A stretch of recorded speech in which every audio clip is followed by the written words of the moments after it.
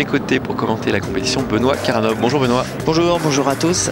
Et on commence tout de suite avec euh, la première bonne nouvelle. Vous le voyez, c'est une Française qui est au commandement dans le concours général. Marine Debove qui est en tête devant Anna Pavlova et Suzanne Arms, la néerlandaise.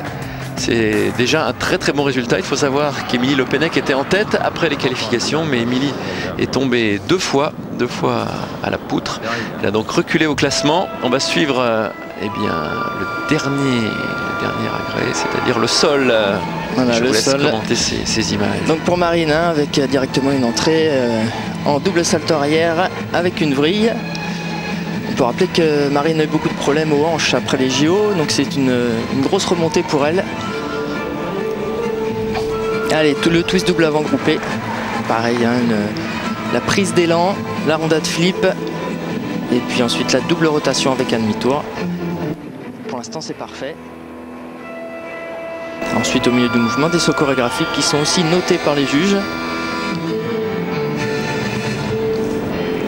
Voilà l'image de ces, de ces pirouettes, très bien exécutées.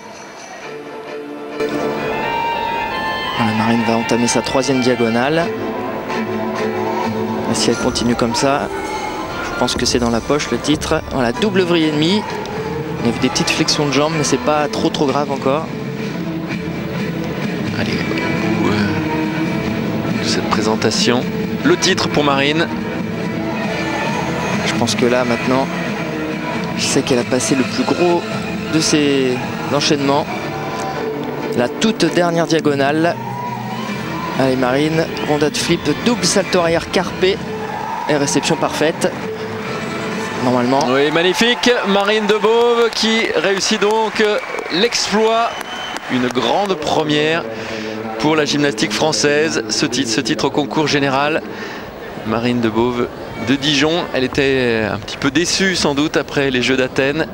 Elle était un petit peu dans l'ombre d'Émilie Le Pennec, médaillée d'or à Athènes. Eh bien, c'est elle qui est au sommet, Marine Debove, qui offre donc à la gym française son premier titre au concours général. Elle devance Anna Pavlova. Yulia Lodzeko, médaille de bronze. Émilie Le Pennec qui effectue donc une euh, petite remontée après le sol, finit huitième. Déjà un très très beau résultat dans l'ensemble pour l'équipe de France.